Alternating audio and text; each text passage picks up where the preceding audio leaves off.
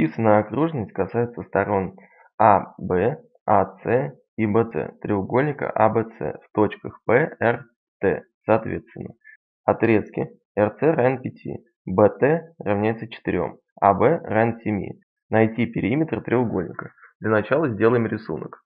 В условии сказано, что RC равняется 5, BT равняется 4, AB равняется 7. Найти периметр треугольника. Воспользуемся теоремой о касательных, проведенной из одной точки к окружности. RC равняется TC, так как проведено две касательные из одной точки C.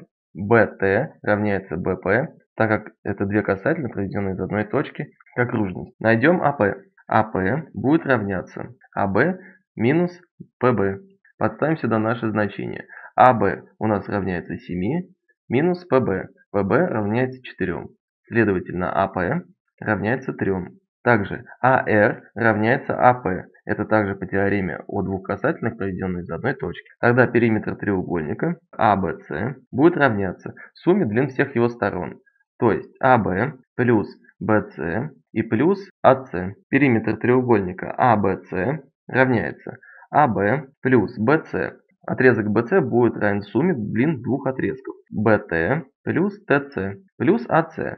AC также будет равняться сумме длин двух отрезков. AR плюс RC. Подставим сюда наше значение.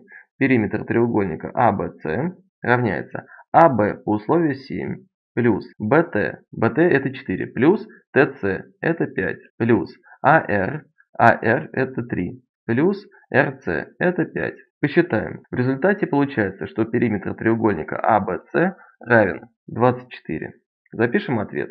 Периметр треугольника ABC равен 24. Задача решена.